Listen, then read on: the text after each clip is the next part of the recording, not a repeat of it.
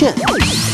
이번 주 실검 2위 마리텔 이경규 안녕, 동규예요. 자, 저희 집입니다. 예능계의 네. 데뷔 개그맨 네. 이경규 씨가 마이리틀 텔레비전에 출격했습니다 와. 데뷔 후 줄곧 정상의 자리를 지키고 있는 이경규 씨 예능인의 무덤이라 불리는 마리텔에서 어떤 모습을 보여줄지 기대가 모아졌는데요 예상치 못한 출연에 더욱더 화제가 됐죠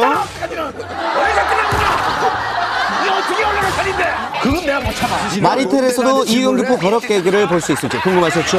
예. 하지만 이경규 씨가 선택한 콘텐츠는 두둥 뜻밖에도 애견이었습니다 강아지를 낳았어요. 네. 생명의 존엄성, 생명의 존엄성에 관한 프로그램을 한번 이끌어 가 볼까 합니다. 아하. 완전 날방입니다. 걔들이 다 아세요.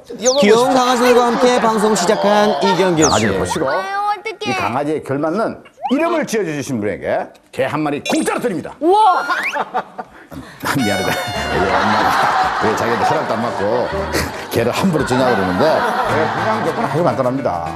혼자 사시는 분은 안 됩니다. 네. 애가 또 한 마리 더 있으면 좋습니다. 철저한 조건을 걸고 강아지의 새 주인을 찾게 되는데요 어떤 분이요. 어떡해. 야하다 그러는데 이걸 보고 야하다고? 나가 임마! 이렇게 걸리고 있어. 재미를 따지지 말고 보세요. 어, 이렇게 저렇게 말이 많습니까? 이거 잘 보세요, 여러분. 강아지들과 함께 있어도 버럭 개그는 멈추지 않습니다 이거 보세요. 예. 과거 무한도전에서 일명 눕방을 이야기했던 이경규 씨. 자, 그 말 그대로 실천합니다. 눕고요. 또 눕죠.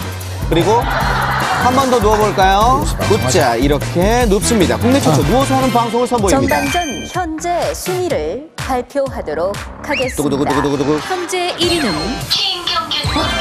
그 결과 반전 1위를 차지하며 폭발적인 인기를 얻은 이경규 씨. 개들도 흥분했어요. 이것이 바로 개흥분. 아무 한것도 없는 거 이렇게 이래. 그냥 누워있기만 했는데.